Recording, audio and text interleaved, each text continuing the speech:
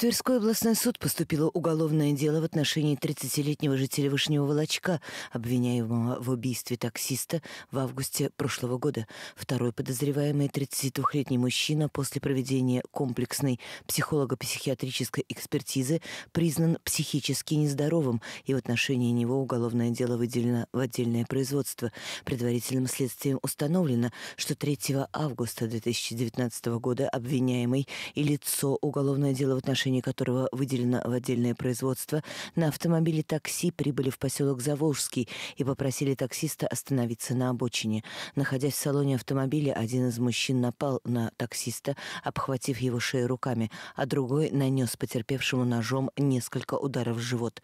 От полученных травм мужчина скончался. Совершив убийство, обвиняемый и его знакомый вынесли тело таксиста из салона автомобиля и сокрыли в траве. Похищенный автомобиль продали, а вырученный вырученные деньги разделили между собой.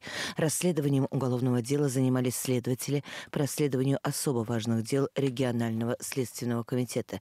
Раскрытие преступления, вызвавшего широкий общественный резонанс, представляло особую сложность в расследовании. На первоначальном этапе следствие располагало лишь незначительными данными, полученными в ходе осмотра места происшествия.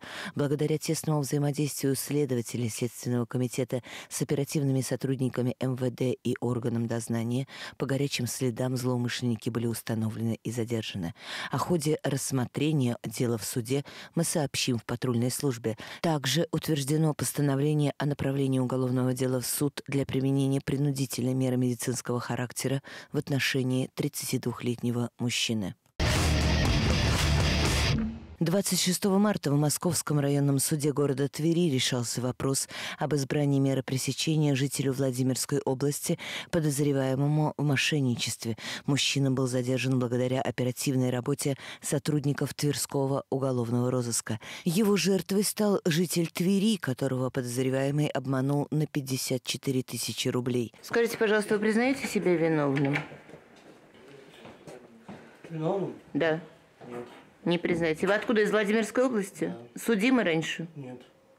Мошенничество, по мнению следствия, подозреваемый совершил посредством мобильной связи, предложил покупателю якобы имеющийся товар и попросил перевести деньги. Мы не перестаем призывать вас, уважаемые земляки, к предельной бдительности. Случаи мошенничества участились. Не ведитесь на незнакомые звонки с просьбами, предложениями и угрозами. Напоминаем, обо всех таких звонках сообщайте в полицию.